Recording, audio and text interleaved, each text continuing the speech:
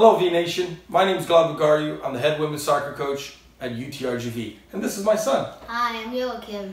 And today we're going to read If you give a pig a pancake, by Laura Numeroff. If you give a pig a pancake, she'll want some syrup to go with it. you'll give her some of your favorite maple syrup, She'll probably get all sticky. so you'll want to take a bath. She'll ask you for some bubbles. When you give her the bubbles, she'll probably ask you for a toy. You'll have to find your rubber duck.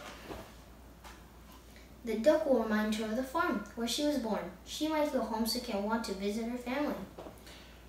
She'll want you to come too. She'll look through your closet for a suitcase.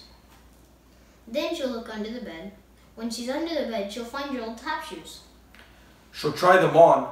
She'll probably need something special to wear with them. When she's all dressed, she'll ask for some music. You'll play your very best piano piece and she'll start dancing. Then she'll want you to take her f- picture. So you'll have to get your camera. When she sees the picture, She'll ask you to take more. Then she'll want to send one to each of her friends you'll have to give her some envelopes and stamps. and take her to the mailbox. On the way, she'll see the tree in your backyard. She'll want to build a treehouse.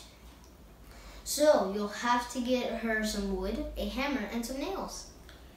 When the treehouse is finished, She'll want to decorate it.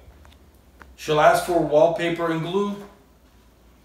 When she hangs the wallpaper, she'll get all sticky. Feeling sticky will remind her of, her fa- of your favorite maple syrup, She'll probably ask you for some. and chances are If she asks you for some syrup, she'll want a pancake to go with it.